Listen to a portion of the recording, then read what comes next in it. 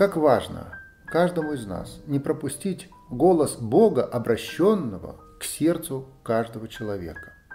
Известный писатель, ученый и педагог Клайв Льюис как-то очень хорошо сказал, «Сначала Бог стучит в сердце человека шепотом любви, затем голосом совести и лишь потом рупором страданий. Давайте каждый из нас постараемся шепот любящего нас Бога, который мы нет-нет дослышим в своих сердцах, обязательно примем его и откликнемся на него. Если мы поступаем плохо и голос совести обличает нас, это и есть голос Божий, не пропустим его. И, наконец, если мы этого не услышим, то нас ожидают скорби, от которых да избавит нас Господь.